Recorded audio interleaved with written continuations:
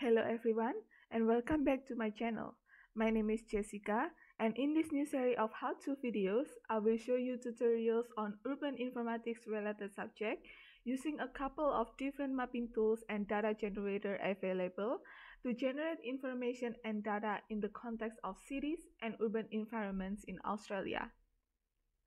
So in the previous video, I have shown you how to generate walkability analysis using PedCatch website, which is more like a quick and straightforward analysis. And the data is already in the website. So you just put your location in and then you set the filter and then it will generate the walkability analysis for you. So it's more like a quick and it's more like a straightforward walkability analysis. Whereas Today, I will show you how to generate the same context of, of walkability analysis, but using AURIN portal. So in AURIN, it is more on, depend on the data that you put onto the portal. So the data is not there. You have to put the data first, and then the data will be on will only be in the context of area that you have selected. And then after you put the data in, you then will be able to use the analyze tools to generate walkability analysis and then from the from the output of analysis that you have generated using the tools you you can then visualize that data onto the map. So in this video today i will show you first using the walkability tools the first one is catchment generator which is basically what we did in PedCatch um, website, it is just to generate the walkability analysis on that certain area that you want. And then the second one, after we generate this data, we will then use the walkability index within area tools, which is to combine the three composite elements of the build form, i.e. connectivity, land use mix, and population dens density. This tool will provide a comprehensive walkability index for your selected area or neighborhoods in a single work workflow. So the analysis, the result of walkability analysis in AURIN is more detailed than the one that you generate from PedCatch website.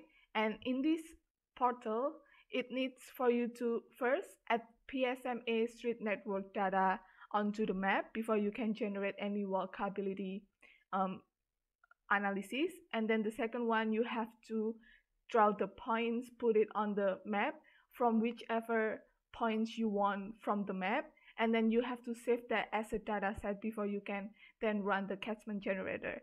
And then to run the walkability index within area tools you then have to um, add the ABS usual residential population data onto the map as well. So if you want a more quick and straightforward analysis on walkability, you can use PedCatch website, which I will put the link on that video on the description down below. But if you want a more detailed and thorough analysis on walkability for your research, you can use this AURIN portal. So let's just jump right into it. So the first step is to open your um, Google Chrome or whatever internet platform you have on your computer and then just type in AURIN portal. And then it will direct you to an AURIN portal here and then you can just click on it. And then here it will you have to put in your organization whether you're a student or if you work somewhere. Just put in your organization. Here so it will show you a new project um, screen like this. And then here you have to refine the location first to make, make it easier for you to add the data onto the map. So the first one here, I can select states and territories. And then I will choose Victoria. And then I will refine the area again. And then here, you can choose which of the options here is necessary to your um, data that you want to get. And in this case, I will choose local government area.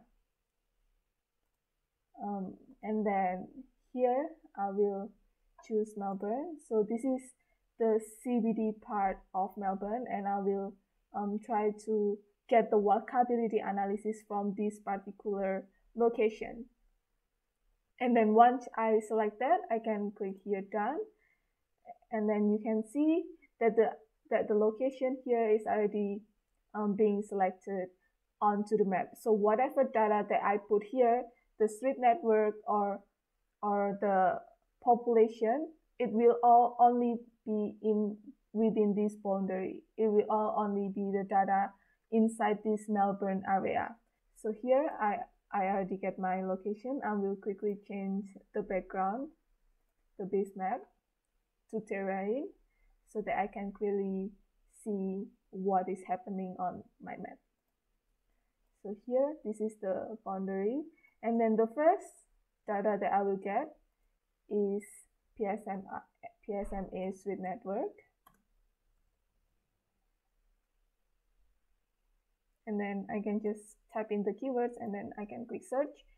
Here I have a couple of options of the years of PSMA networks in the datasets. In this case, I will choose um, 2016. And then on the um, on the attributes uh, selections, you can choose uh, the full street name, health limits, um, road number, limit, and make sure that you selected the at the geometry attributes. And then you after you selected the attributes, then you click add. And then make sure you read the terms and condition here. And then after you read that, click accept. Here, the dataset is already put on the map. So this um, street network is only within this boundary. And this will be the base of the walkability that is going to be run on the map. So the second um, data set that I will get is the points. So just like the PedCatch website, it needs points of where the walkability is starting. So for example, so I will click this draw point. So for example, if I want to see the walkability from this certain area, I will put my points here. So the walkability will start from here and then it will measure the walkability within a certain um, distance from these central points. So, and the difference between AURIN and um, web, uh, PedCatch website is in PedCatch website, you can only add maximum of three points. But in AURIN, you can add as many points as you want. So if I want to measure um, the walkability from a park here and maybe a park here, and then from also from university um, kind of um, complex, and then maybe around here in the Docklands area, and then maybe I want to also measure around here. And then on here make sure that you put all the points within this boundary not outside of it because it's not gonna show you the analysis if you put the points outside of the boundary. So yeah so uh, those are the points of which the walkability will be generated. And once i'm happy with my with the location that i want to generate um, i click save geometries as a data set. And then you just rename the points data sets. I will rename them points Melbourne and then click OK so here your geometry is has already created as a data set once you have this data now you can run the catchment generator gen catchment generator so go to tools select walkability and then select catchment generator. And then here in the route network, you put in the PSMA street network line that you have added to your map. And then on the points here, you put the points that you just draw on the map that and then that you just have saved as a data set. So here I will choose points Melbourne and then on the maximum walk distance so here you can change on whatever distance you want in this case, I, I will change it to 500 because generally 500 distance is a 10 minute um, a 10 minute walking which is still within the walkable distance. Uh, for the trim distance you can um, leave it as it be. And then for the here for the data set output you can rename them so that you don't get confused if you have a lot of data in this part of your project. So I will rename them walkability Melbourne. And then after that, click add and run. And then it will create the walkability. And then if you click display, after you click run and then it's successfully um, completed, you can see the points that you have put on the map and it shows here. And then to to visualize that on the map. So you can click here and then you can click display on map. And then you can click update and display.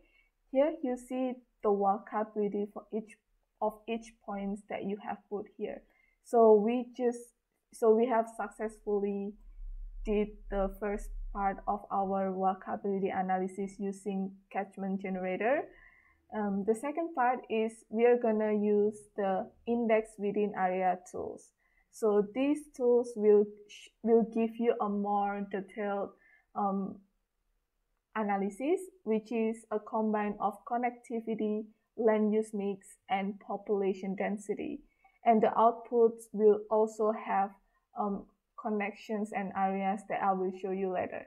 So to do that, after you get this data, you can, um, I will turn this off. And then you can go back to browse the data. So on the keywords, type in ABS usual residential. Here I will choose 2016. Make sure you select mesh block category and then total usual residential population 2016 and then make sure you also choose the geometry um, attributes and then after you select that click add so now we have that data within this boundary area we can go back to tools go to walkability and then select walkability index within area. If you want to um, read more on these tools and what the output and input is we, you can just click on this and it will direct you to this web to this AURIN um, website and they will explain you what the output is which is really really useful. In terms of the input this is a little bit different from what we have here because maybe this website is more updated than this part but it's okay. It's it's it's still i st it still have um, a, a lot of useful informations. And in terms of how to use it you can just um, see what I did here. So with the road network you can select um, the PSMA street network and then area on the area here select the output walkability that we just did before and then on land use poly polygon dataset um, choose ABS usual residential population. And then on the classification attribute, choose mesh block category. And then on the land use classifications, here choose, so this will be the, the land use mix that is gonna be put into our um, output on this walkability index within area, which is, for example, if I choose residential, then they will measure um, the walkability to and from residential area. If I choose parkland, then it will measure the walkability to and from a parkland. So that this is the land use classification, but I will choose um, industrial, commercial, education, transport, and hospital, but I don't think I will um, select these for now because um, I don't want to, uh, for example, I don't want to measure a walkability to and from a water. So you can so you can just select whatever whichever you need from these um, land use classifications. You don't have to choose everything.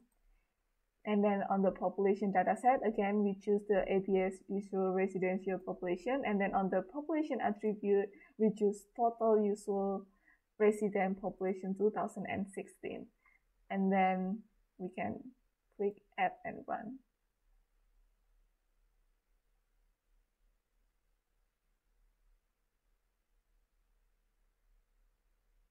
So if you click display, here this is our um, walkability, the index within area um, result. And you can um, see the what the connectivity, area connections, and everything here in this website. So it will um, explain to you what the connectivity means and area and everything here.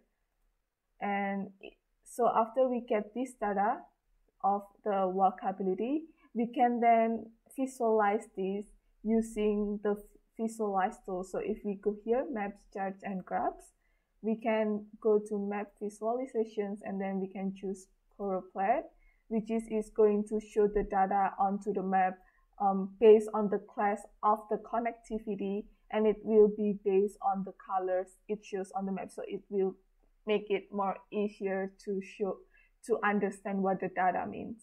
So if we select the data sets, we select the output here. This is the index within area that we just um, generated. And then if you select the attribute, you choose the, so if you select the attribute, you, you choose the zoom z-score. So this is the total of all of this. So we can just select this and this is just like to summarize your information. And then on the select a classifier, I will just leave it like that. And then on the palette, palette type, I will choose diverging.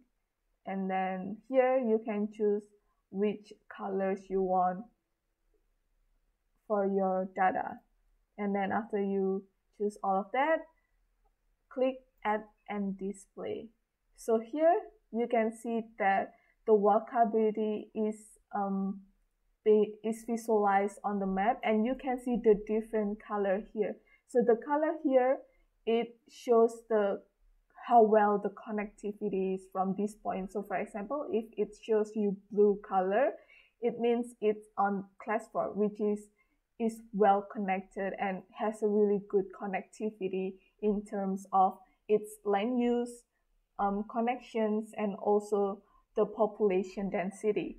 Whereas the red one, it has the least, the least um, connectivity class. So if you see here, it will show you um, all these class in this box here.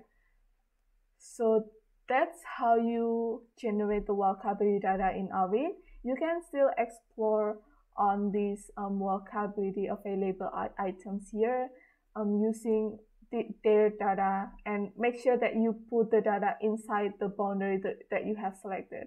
And if you want to maybe compare this um, data in the Melbourne area to the data in the, for example, in this area, you can reselect your area selections and don't delete this data that you have here. You can just um, reselect the selections and then again you put the you add the data the PSMA street network and then you draw the points and then you again um, add the data of usual residential and all those new data will be within that new boundary that you have created and then you um, you repeat the same steps and you will be able to have the walkability analysis um, just like you did in this um, Melbourne area.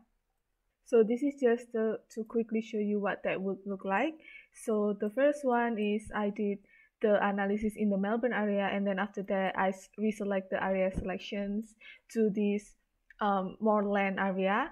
And then using the same steps by putting new street network in this boundary area and then again point the point drawings and then also the usual residential. And then I did the same all the same steps and then it will show you the data in this um, area and also you can still see the data that you have generated in the Melbourne area that you have did the first time. So you can see in this area it has more red colors than the one in the CBD. So it generally just show you how um, in the CBD area it's well connected than the one in this particular suburb. So those are the kind of analysis you can do using these tools.